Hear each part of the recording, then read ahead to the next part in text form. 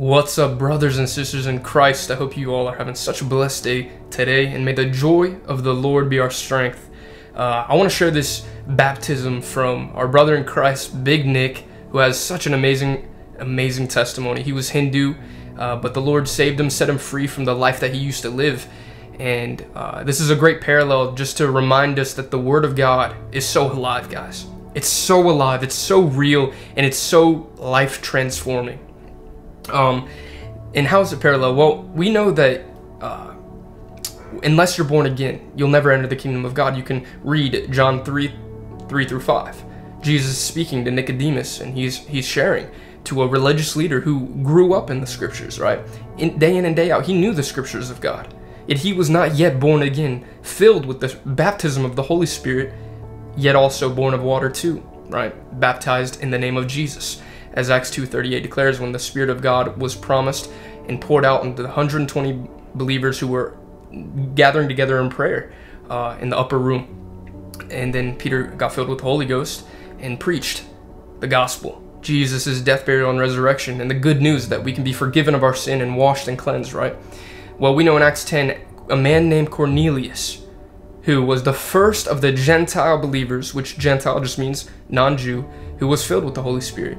And the, the amazing thing was that they um, were filled with the Holy Ghost first. All of the household of Cornelius. He was a centurion, uh, meaning he had 100 soldiers underneath of him that he was in charge of. And now Nik, he already had the, the baptism, baptism of the Holy Spirit. He was already filled with the Holy Spirit. And I was just with him in Dallas. If you saw uh, yesterday's live stream, it was awesome. We went to Upper Room. Wow, and it was just amazing. Uh, the Spirit of God totally filled us, refreshed us, and I was just so thankful. Well, he wanted to get baptized in the name of Jesus, Jesus fully submerged in water, right? And uh, so we, we did that, and just like Acts 10, Cornelius. So I'm gonna share this footage with you guys. And yeah, God bless you all.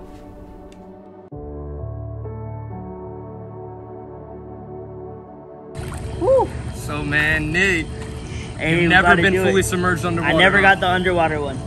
He's already filled with the Holy Ghost. Oh yes, sir. Speaking yes, in sir. tongue. Yes, and sir. Yes, sir. Fire preaching. But today's the day in which we were just talking. We were we were in Acts 2, and you know Acts 2:38, when Peter and the 120 were filled with the Holy Ghost. Uh, they they said, realized when they pierced their Messiah, what do we do? What, what must we do? Acts 2:38 says, repent, turn to God, be baptized in the name of Jesus Christ for the remission of sin, Yep. and then you shall receive the gift of the Holy Ghost. But we Yep. know in Acts 10, the Gentiles when they were filled, Cornelius, he first got filled with the Holy Ghost, and then was commanded to go be baptized in the name of the Lord, and that's what my man, Big Nik's doing. Get it, bro. Let's do it, man.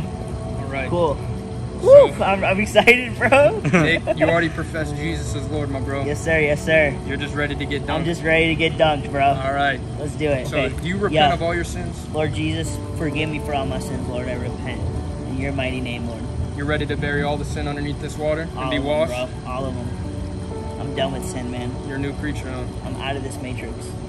There it is, man. Let's go. Well, these are the end times, and God used him to come out with an album, End of Times. Thank you, Lord. Um, Thank you, Jesus. it was glorious. Man, the Lord is man? good, man. Let's get it, bro. Let's pray first. All right, cool. Lord, I just thank you for my brother.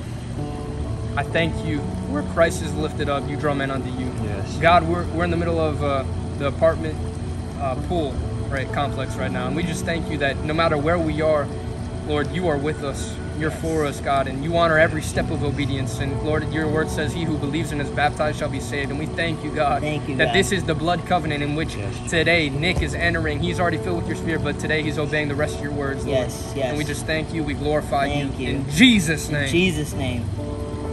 So Right, I'm gonna bro. hold your nose. Uh, yeah, yeah. comfortable. I can breathe. I can breathe. Okay. Yeah. I now baptize you in the name of the Father, the name of Jesus Christ, and the Holy Spirit.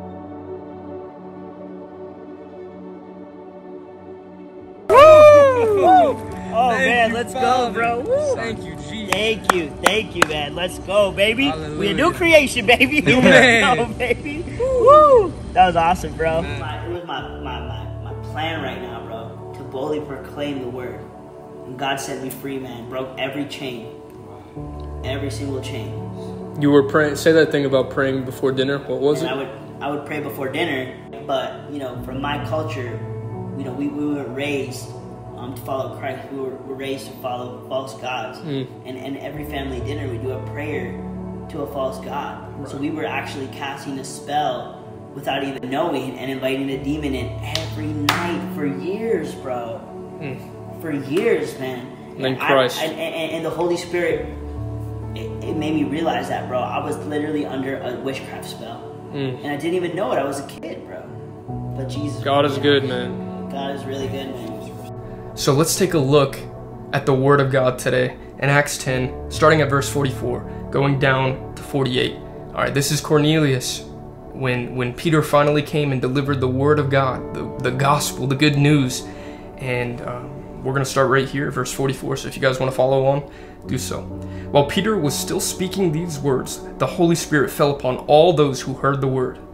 And those of the circumcision who believed were astonished, as many as came with Peter, because the gift of the Holy Spirit had also been poured out on the Gentiles too. Praise God. For they heard them speak with tongues and magnify God. That was the clue that they heard. They, they saw these people being filled with the Holy Ghost because they heard them speak in other tongues and magnify God. Then Peter an- answered right after that, after they got the Holy Spirit, Can anyone forbid water that these should not be baptized who have also received the Holy Spirit, just as we have? And he commanded them to be baptized in the name of the Lord. Then they asked him to stay for a few days. So they were commanded to be baptized after they received the Holy Spirit in the name of the Lord. In the name of Jesus, because there's only one Lord, one Spirit, one faith, and one baptism. So it was just such an amazing, amazing time in Dallas. Uh, the Holy Spirit was just poured upon us. We, we were praying in the Spirit. Uh, we had an amazing time in worship in Upper Room. And I'm just so thankful. God bless you, Brother Nik, if you're watching this video. He came out with a new gospel album. Uh, if you guys want to check that out, I'll leave a link in the description of this video. But yeah, I was just so thankful to God that He wanted to obey the scriptures and continue to get fully submerged in water in the name of the Lord. God bless you all.